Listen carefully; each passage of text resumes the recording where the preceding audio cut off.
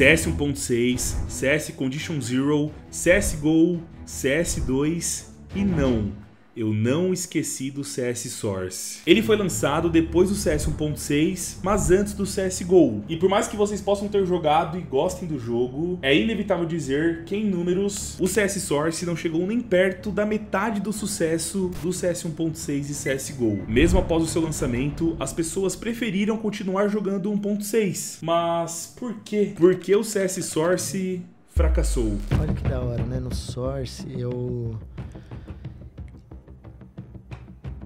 eu só jogava 1.6. Eu sei que era, não era CS ali, Não rapaziada. era, não era, não era. Era outra coisa. E isso quase matou o CS, né? O CS Source era um jogo que trouxeram, era mais atual do que o CS.6, mas também não, convenceu todo mundo que jogava CS.6 a jogar. É, não mas pegou era muito bom, a galera Eu gostava do CS Source.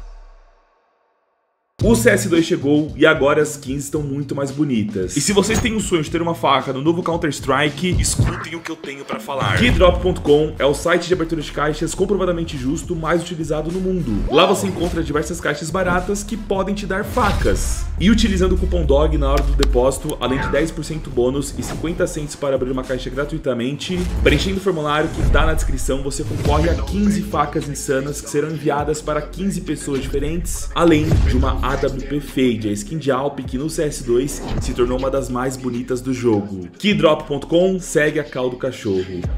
Tá precisando de um novo computador ou então dar um upgrade em algumas peças? A melhor, mais rápida e segura decisão é a Studio PC. Acessando o link da descrição, conheça quatro diferentes máquinas de ótimo custo-benefício que foram pensadas para que você tenha o melhor desempenho possível no CS2, mas também em qualquer outro jogo. StudioPC.com.br, as melhores marcas, garantias, além de um atendimento personalizado.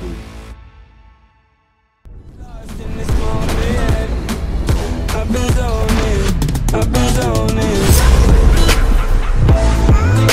mais um aqui no canal Cachorro 337. Por acaso, vocês já ouviram por aí que a Valve é a empresa que nunca criou um jogo ruim? E não, o CS Source não é um jogo ruim. O ponto do vídeo não é esse. A ideia aqui é entender porque grande parte da comunidade da época, quando o CS Source foi lançado, não largou o CS 1.6 para se aprofundar no novo jogo da franquia. E existem vários motivos para isso. O primeiro erro da Valve foi ter lançado o CS Source no auge absoluto do CS 1.6. Com isso, só um novo jogo muito bom para convencer os jogadores a largarem 1.6 e irem para o novo CS. Mas o primeiro problema do CS Source é que era um jogo extremamente pesado para a época. Não era qualquer computador mediano que na época conseguia rodar bem o game. Importante lembrar que o jogo foi lançado em novembro de 2004, ou seja, estamos falando de uma época que não era comum as pessoas terem máquinas específicas para jogar. E isso tornou o jogo inviável, tanto a nível casual quanto a nível competitivo. Com toda certeza, nesse exato momento, tem alguém dando risada do que eu disse e comentando aí no vídeo que eu sou maluco, que o CS Source é levíssimo. E é exatamente por isso que eu estou analisando o contexto daquela época. Afinal, estamos falando de um lançamento que aconteceu há quase 20 anos.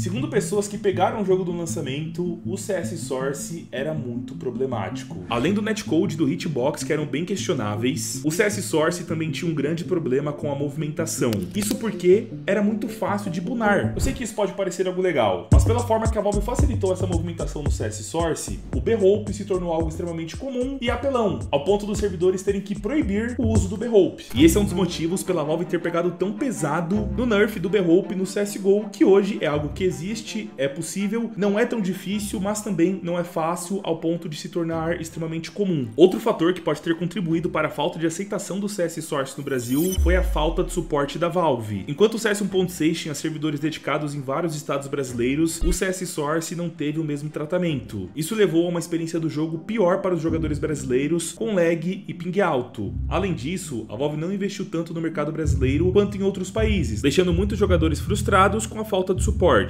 Além disso, o lançamento do CS Source coincidiu com o lançamento de outros jogos populares no Brasil, como Call of Duty e Battlefield. Com tantas opções de jogos de tiro em primeira pessoa disponíveis, o CS Source foi criado com o objetivo de ser um jogo mais casual e fácil de se jogar do que o CS 1.6, visando um público mais amplo. Embora isso tenha sido bem sucedido em outros mercados, no Brasil, a comunidade de Counter-Strike era composta principalmente por jogadores mais hardcores, que preferiam a jogabilidade mais desafiadora do CS 1.6, por isso muitos desses jogadores não se interessavam por CS Source e preferiram continuar jogando a versão anterior do jogo. No entanto, o CS Source ainda mantém uma base sólida de fãs no Brasil. Óbvio, menor que CSGO e até CS 1.6, porém, algumas comunidades ainda se mantêm ativas. E acredite, ainda há pessoas que preferem a jogabilidade do CS Source do que do próprio CSGO. Mas aí, na sua opinião, qual o melhor CS da história? 1.6, Condition Zero, CS Source, CSGO ou CS2? A minha opinião, com base em estudos, porque eu não joguei 1.6 nem CS Source, Ah, é, sou Nutella agora, eu com isso. é que o CSGO é o melhor, indiscutivelmente. Porém, eu vejo muito potencial no CS2, visto que ele está em um motor gráfico mais recente, que ao longo dos anos dará muitas possibilidades da Valve continuar melhorando a cada dia o jogo e sempre trazendo atualizações, novidades, e isso é muito importante. Tenho um sonho de bater um milhão de inscritos, então peço por favor que vocês se inscrevam no canal, é só um clique, esse clique faz toda a diferença pra mim. Deixa um like nesse vídeo e passe aqui todos os dias, no horário do almoço, no horário da noite, para não perder nenhum vídeo, ative o sininho também. É isso daí, manos. Eu, Rinho, vou ficando por aqui. Até um próximo vídeo no canal Cachorro 337. Falou!